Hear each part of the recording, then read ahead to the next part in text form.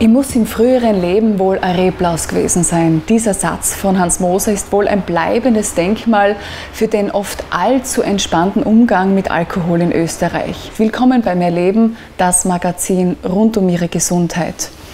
Ob Sucht oder auch Genuss, wir fragen den Experten schlechthin. Michael Musalek leitet die größte Suchtklinik Europas.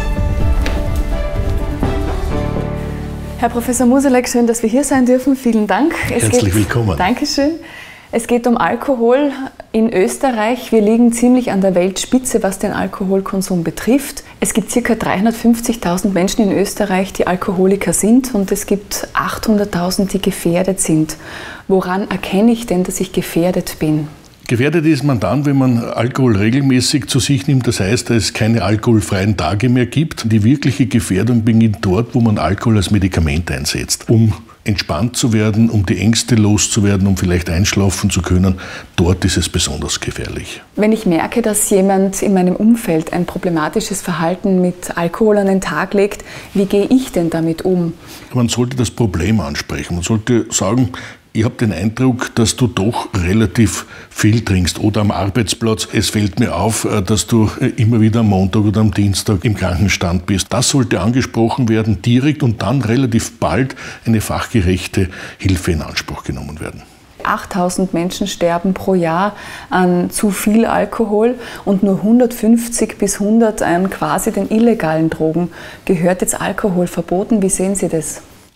Ich halte von einem Alkoholverbot, außer jetzt bei Jugendlichen und bei Kindern, nichts. Das große Problem in Österreich besteht, dass der Alkohol noch immer nicht als gefahrvolle Droge gesehen wird. Das, was wir bräuchten, ist einfach ein anderes Bewusstsein dem Alkohol gegenüber. Zum einen, dass wir die positiven Effekte natürlich kennen, aber auf der anderen Seite, dass wir auch lernen, mit dieser Substanz umzugehen. Denn ein solcher Rauschzustand kann natürlich leicht in einen komatösen Zustand übergehen und manchmal auch zum Tode führen. Und leider in Österreich ist es halt Learning by Doing und dieses Doing ist oft ein zu viel. Vielen herzlichen Dank für dieses Gespräch, Sehr Herr Professor. Gerne. Dankeschön. Sehr gerne. Wir sprechen heute mit einem, der ganz genau weiß, was Alkohol anrichten kann. Sie sind seit mehr als zwei Jahrzehnte völlig trocken und haben aber genauso lange davor zu viel an Alkohol konsumiert. Was hat denn der Alkohol bei Ihnen angerichtet?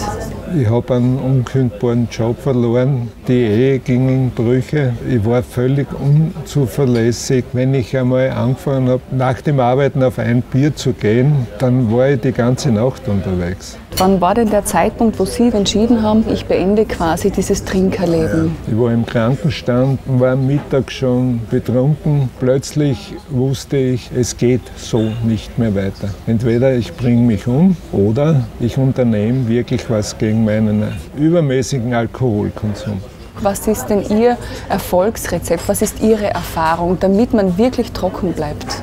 Meine Erfahrung ist, dass man nach dem klinischen Entzug weiterhin eine Nachbetreuung braucht.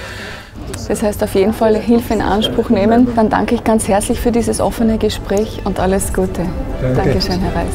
Der Alkohol wird dann zum Problem, wenn es ohne nicht mehr geht. Für Betroffene und Angehörige gilt, hinschauen statt wegschauen. In diesem Sinne ein promillefreies Prost und auf Wiedersehen bei Mehr Leben, das Magazin rund um Ihre Gesundheit.